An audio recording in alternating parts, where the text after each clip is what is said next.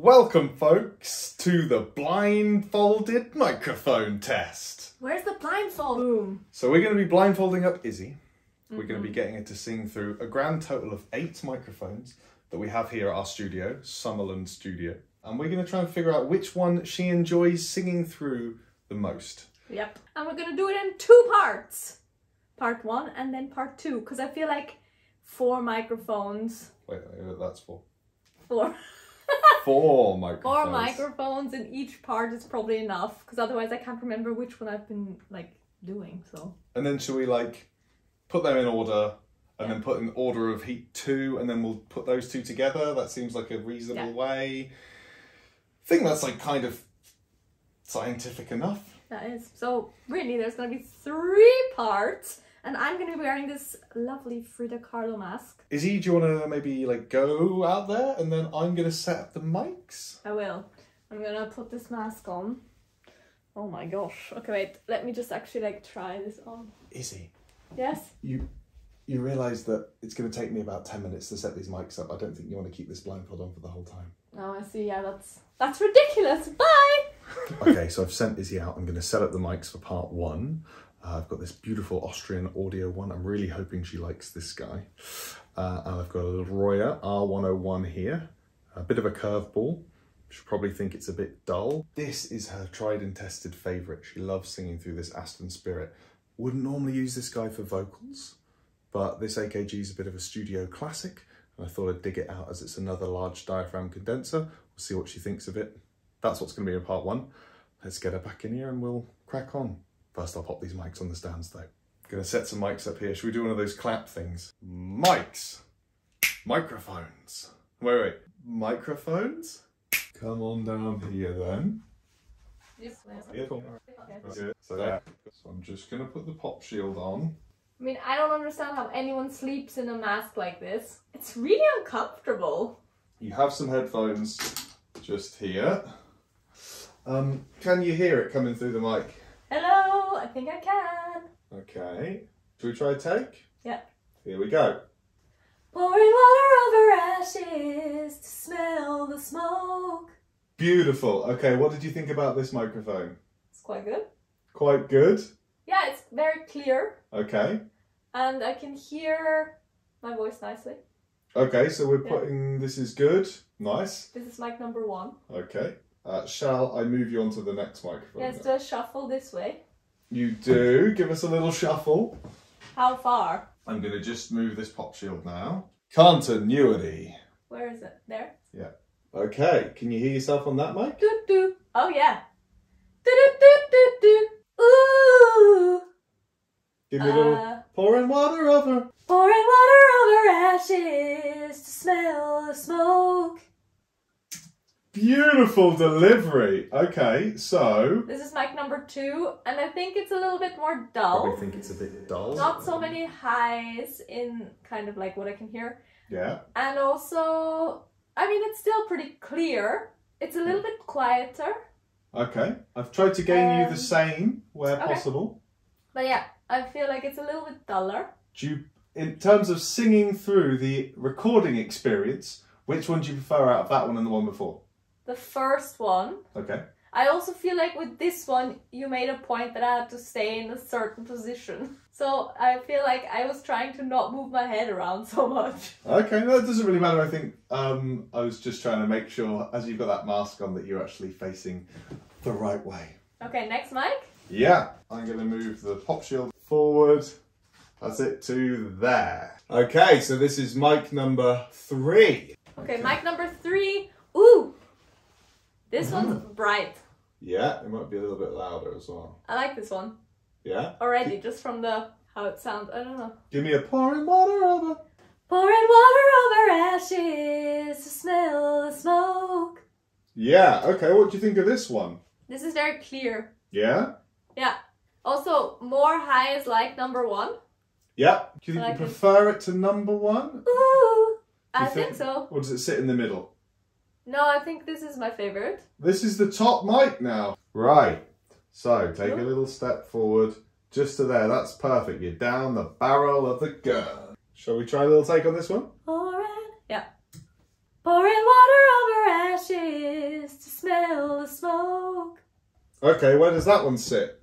I feel like this one's also a little bit more dull. Okay.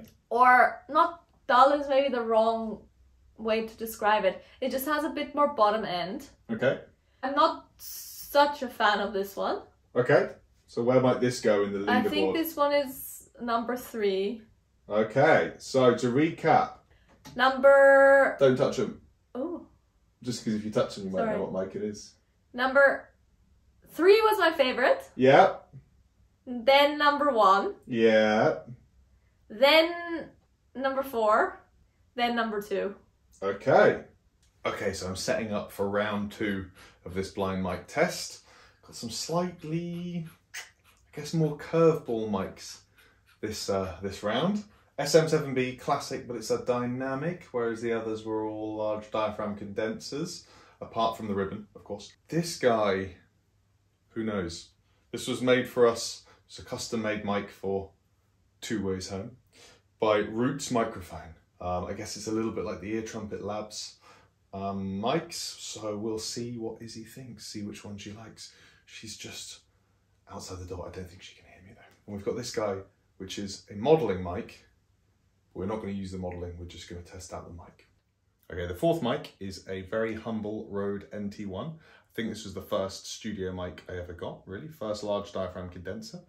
Uh, we'll see how it stacks up against the rest, and we better get Isi back in. Isi, we're ready for you. Uh, yeah, yeah, yeah, yeah, yeah, yeah, yeah, yeah, yeah, a little bit more, a little bit more, and then there, and then there's the pop shield. Don't touch the mic behind, no cheating. There you go. Part two of mic testing. Here we go. Ooh, Number one. mic number one. Oh, this sounds kind of good. You like that, do you? I already like it. Okay, here we go. Do do. Pouring water over ashes to smell the smoke. Yeah, what did you think of that guy? I think it's very sibilant. Yeah, So when I do an S, it's quite uncomfortable in my ears. there, that's quite unusual. Yeah, it is particularly sibilant. Yeah. Okay, Very sibilant, but it's clear. okay.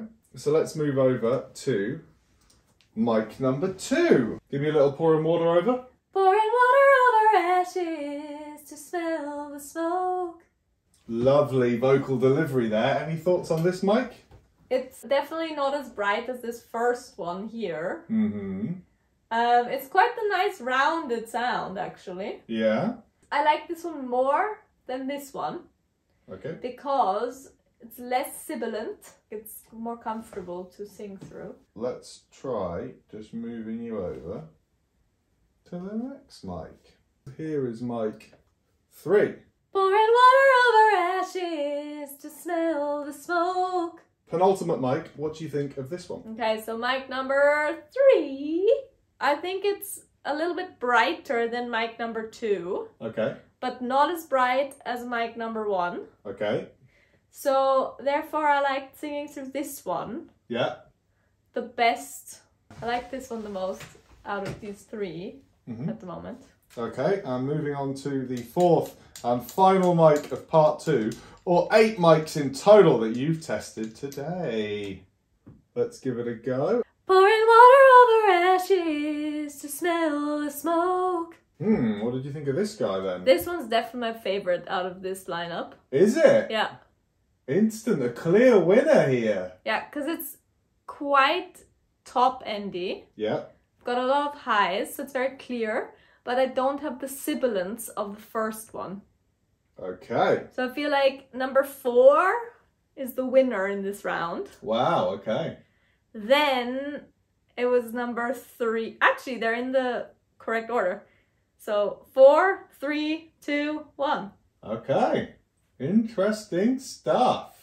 Take your eye makeup off. The eye makeup, the eye mask. Sorry, the eye mask off. Oh, it's taking your eye makeup off there a little bit. Now I need to Do you want to do my makeup again. go freshen that up? Okay, so I'm setting up the winner of each heat. Humorously, Isi's favourite mics are probably the most affordable mic I have in the studio and one of the more bougie mics. Okay, both the mics are ready. I'm gonna go grab Isi and we're gonna see which one she likes more. Walk through here, good, good, over there, okay. Here's the- yeah, Eugene, where's the- okay. Right, Should we try to take? There's still more heat in the heart you broke in hope. So I'll keep sending you a signal in the smoke. Hey Isi, you're getting quite good at uh, singing this song. Great. Sounded pretty great. Right, what do you think of this one first off? This is great. Okay, good. Fire, Just changing over the pop shield, Oh no, not you're on fire, we're on fire. Here we go. There's still more heat in the heart you broke in hope.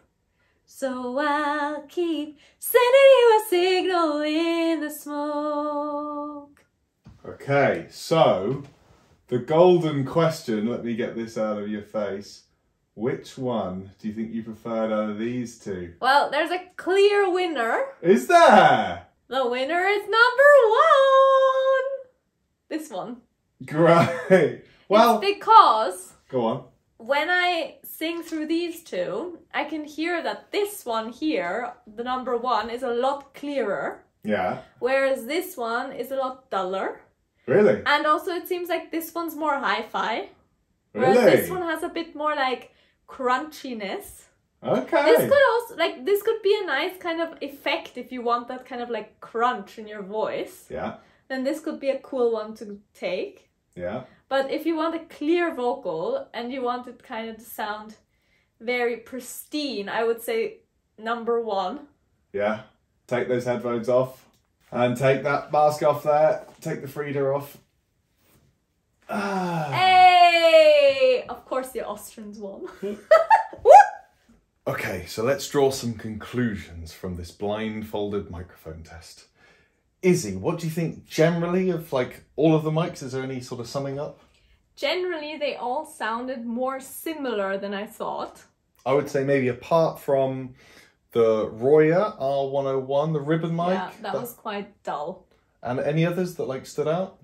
Well, the winner, which was the Austrian audio one, Oh yeah. That definitely stood out to my ears. Just because it was very clear. So Trust. I really liked it. Trust the Austrian to pick an Austrian. but to be fair, Austrians have been building great mics for years now. Um, I think, I think it's interesting that the Rode NT1 was possibly a second, Yeah. um, which was great. Definitely a second in our testing today. Um, And to be honest, each mic had a certain quality. So depending on your voice, you kind of have to choose which mic fits your voice. So for me, it was this one, but for someone else, it might have been this one or any of the other ones. okay, drew some nice conclusions there. So, which one are we going to be using to record our new releases that we're going to release in 20? It's the Austrian audio!